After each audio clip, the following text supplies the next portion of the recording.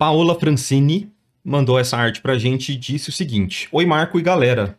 Então, faz um tempinho que eu tô querendo uma ajuda porque eu tô tendo muita dificuldade nas minhas pinturas e em como deixar elas interessantes. Às vezes eu acho que as minhas artes ficam sem graça e muito superficiais e não consigo dar aquela sensação de imersão. Eu faço arte digital há mais ou menos um ano e tô tentando aprender mais. É isso. Qualquer conselho seu me ajudaria demais. Beleza. Me permite dar uma olhada no seu portfólio? Vamos dar uma olhadinha aqui, ó. Antes da gente ver só aquela imagem. Wolfstar. Deixa eu dar uma olhadinha se você postou o processo dessa. Ah, o desenho. Interessante, o seu desenho ele tava bem mais espontâneo, né? Eu sinto que tinha uma espontaneidade na pose que acabou ficando no desenho só. Interessante, interessante. Essa aqui você fez sem referência? Black Star. Bom, acho que eu encontrei uma resposta que provavelmente está te segurando um pouco, Paula. Um ano para estar tá estudando e já tá com um portfólio assim é bem legal, mas claramente você está fazendo apenas, não me leve a mal, mas aparentemente você está fazendo apenas aquilo que você gosta. tá deixando de lado uma grande parte dos estudos que claramente você não gosta de fazer, provavelmente a perspectiva. Tá deixando de lado, né? Para você deixar as suas cenas mais complexas, mais interessantes e mais visualmente apelativas, você precisa estudar perspectiva. Essa é a verdade. Por mais chato que pareça, não é tão chato assim, tá bom? Eu sou do time perspectiva, perspectiva não é horrível, é legal pra caramba. E eu falo isso como uma forma de libertação. Tô falando sério. Pensa dessa forma que eu tô falando para você. Estuda perspectiva como uma forma de libertação para que você tenha possibilidade, escolhas, alternativas, elementos que você possa inserir na sua ilustração para deixar elas interessantes, para você não, não precisar fazer sempre um personagem parado, olhando para a câmera ou fazendo alguma pose simples. Então, cara, essa é a real, tá? Essa para mim é, é a real assim, porque depois de perspectiva, estudar figura humana é muito mais fácil de verdade, assim, porque você vai conseguir desenhar de uma forma muito mais intuitiva os seus personagens em ângulos diferentes, até conseguir interpretar melhor suas referências. Então, é libertador. É libertador. Para mim, tipo assim, vendo as suas imagens, você tem umas ideias, umas sacadas boas, mas claramente você tá se travando por falta de, tipo, de repertório, assim, de tipo, ah, eu nunca fiz, não sei fazer, aí acaba só não fazendo mesmo. Então, é isso. Você pode estudar composição, é claro que você pode estudar composição também, mas ao mesmo tempo, eu não acho que vai adiantar muito você tipo, querer aplicar um monte de conhecimento de composição e coisas malucas e tal, mas ao mesmo tempo você não conseguir aplicar porque não tem esse estudo. Então é muito importante. Eu fui certeiro nessa ou não? E eu queria saber de vocês também, galera do Jet, você também tá negligenciando perspectiva que eu sei. Não vem falando assim, ah, Paola, tá. É isso aí, Paola. Olha o Marco falando aí, ó. Mas eu tô falando com você também. Não tô falando só com a Paola, tô falando com você. Mas enfim, eu acho que seria a principal coisa que eu faria aqui é ter esse, essa, esse embasamento de perspectiva para você conseguir criar coisas diferentes. Na pintura em si, eu vou levar para o Photoshop e eu tenho algumas sugestões especialmente em questão assim de valores também, eu acho que para essa cena noturna, iluminada por uma luz artificial, eu acho que também dava para você deixar essa, essa imagem visualmente mais apelativa, brincando um pouco mais com as suas cores e com as suas transições. Mas isso talvez seja um pouco cedo demais para eu falar para você já fazer, sabe? Tipo, poderia fazer um paint over aqui e tal, mas talvez por, até pelo que você falou de estar tá estudando há um ano e tal, talvez não seja o momento ideal para eu começar já a falar um monte de coisa, sabe? Mas algo que eu faria seria nessa situação de cena, vou falar só especificamente dessa imagem porque você mandou essa imagem, tá? Eu tentaria fazer alguns estudos, cara, de, de novo, entenda que eu tô falando isso mais como uma forma de só porque você perguntou, mas não necessariamente você tá no momento certo para fazer isso, tá? Mas para você deixar mais colorido, eu acho que valeria a pena você estudar essas situações de luzes que elas são mais diferentonas mesmo e mais coloridas. Percebe que dificilmente a gente vê a cor da pele da personagem aqui. Dificilmente a gente vê só em um momento onde luz, as luzes realmente não estão batendo. Então eu acho que valeria a pena nessa situação aqui você apelar para umas cores mais malucas, sabe? Com umas transições diferentonas, mas ainda assim com os valores bem separadinhos de luz e sombra. Percebe que apesar daquelas cores serem bem diferentonas, percebe aqui, ó, a separação de luz e sombra é bem evidente, tá? A área iluminada do rosto da personagem e a área de sombra, elas estão bem marcadas. Tipo assim, é, não é um rosto completamente flat, né? Tipo, na sua, percebe que dava para você forçar um pouquinho mais ainda a diferenciação de luz e sombra aqui? Tá um pouco confuso, tá naquele limiar ali meio confuso. O braço acho que tá legal nesse sentido, mas aqui o rosto tá meio todo flat, sabe? Então eu separaria melhor essa luz e sombra e colocaria mais cores para deixar isso aqui bem mais colorido, iluminando as sombras mesmo, sabe? Esse é o feedback da imagem especificamente, tá? Então, eu trocaria bastante essas, essas cores aqui. Tem várias referências nesse sentido, né? Se você não quiser ir para cores muito malucas, você pode também ir para algumas cores mais contidas, mesmo que você queira trazer essas cores, ó, tipo essa aqui. Que tem umas cores diferentes, mas ainda a gente vê bastante a cor da pele da personagem, sabe? Mas, de novo, mesmo tendo essas cores muito coloridas, luzes coloridas, elas iluminam de uma forma que não atrapalha a visualização dos nossos valores. São coisas diferentes mesmo, tá? Então, nessa imagem aqui, talvez intensificar um pouco mais essa, essa luz vinda lateral aqui, ó, para diferenciar um pouquinho melhor o personagem. A sombra aqui. É que você usou um noise, né? Você usou ruído aqui, aí fica difícil o color picker, mas tudo bem.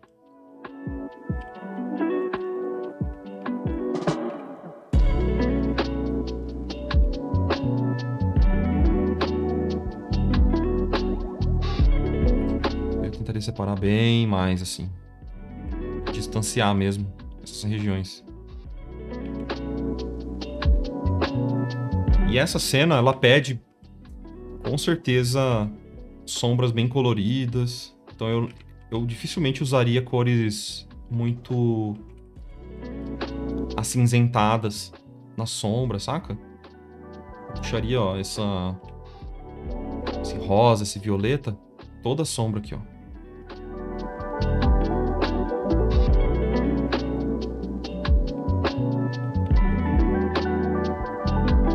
Mesma coisa, ó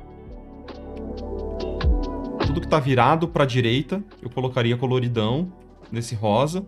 Tudo tá virado para a esquerda, aí você pode ir para uma cor, tipo um azul, quem sabe, ou uma, uma cor mais quente. Mas eu separaria melhor também o rosto dele.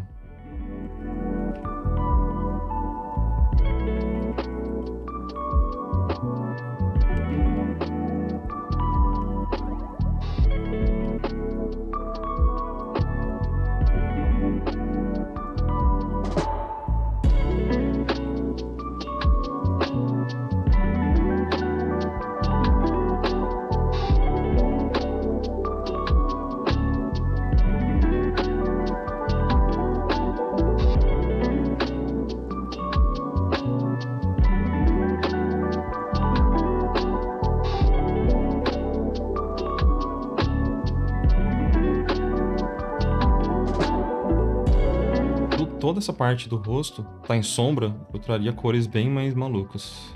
Sombras coloridas.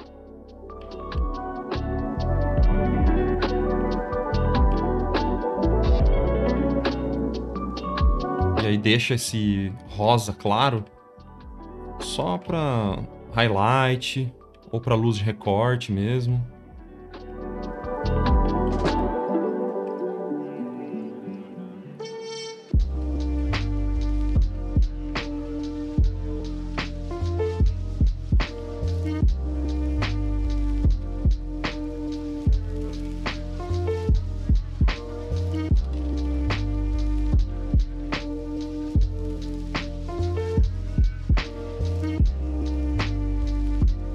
Basicamente é invadir mais a luz dentro do personagem, acho que ia ficar bem legal.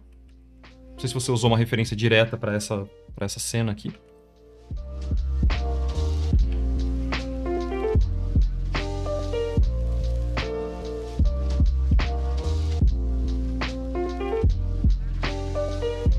Faz o seguinte, ó. Vou trocar esse point sample. Pro average.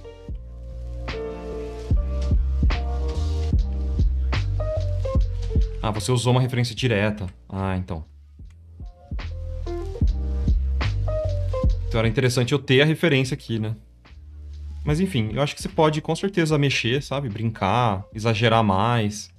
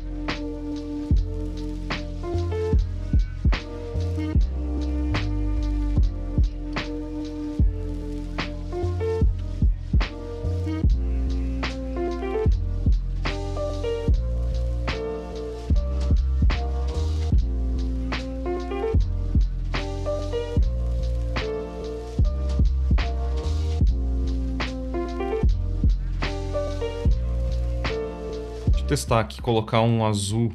Ó.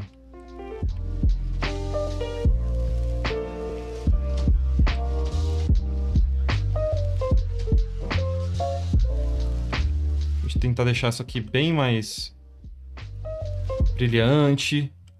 Como se fosse um, um glow, né? Feitinho de glow.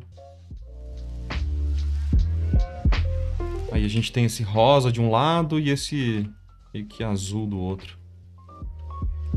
Ficar bem legal também. Porque aí a, a, imagem ela vai ficar visualmente interessante, sabe? Mais apelativa, saca?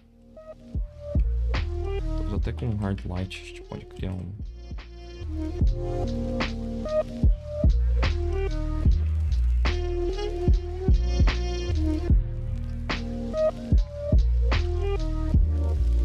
colorir essas sombras.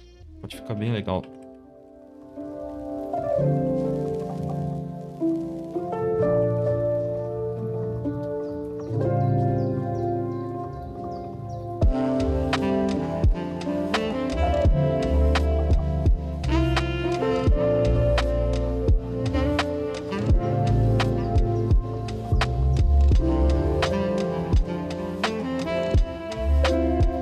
Percebe como a gente está brincando um pouquinho mais com os valores, mas ao mesmo tempo adicionando mais cor.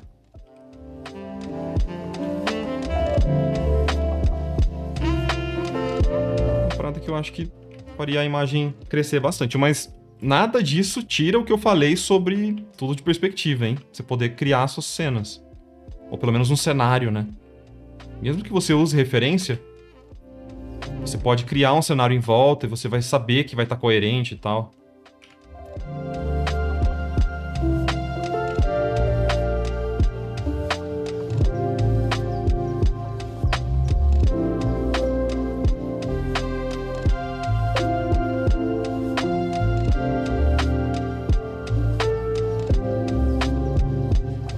Uhum, beleza. Ó, só pra gente ver, né, uma possível versão Antes e depois, ó.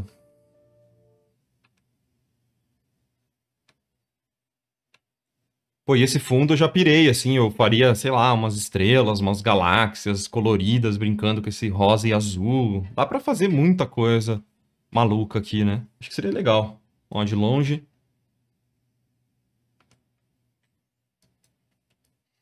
Tá bom? Belezinha? Mas então... Aplausos. Bora, bora estudar a perspectiva aí.